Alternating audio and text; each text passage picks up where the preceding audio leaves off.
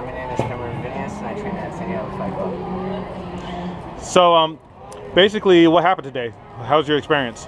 It was pretty good. It was like a comeback tournament uh, for me because I've been wrestling a lot. I uh, won all three matches, uh, two of them by armbar, one by points. It's a pretty good tournament. Okay. So, how many times have you competed at Grappling X? Uh, this is my sixth time, And how old are you? 17. And you train at San Diego Fight Club in El Cajon under Charlie Kohler. Yes, sir. And uh, we had a lot of competitors from that school today. How do you think they all did? I think they all did great. I, you know, I've been with them and seen them train real hard, and they came out here and really showed their skills.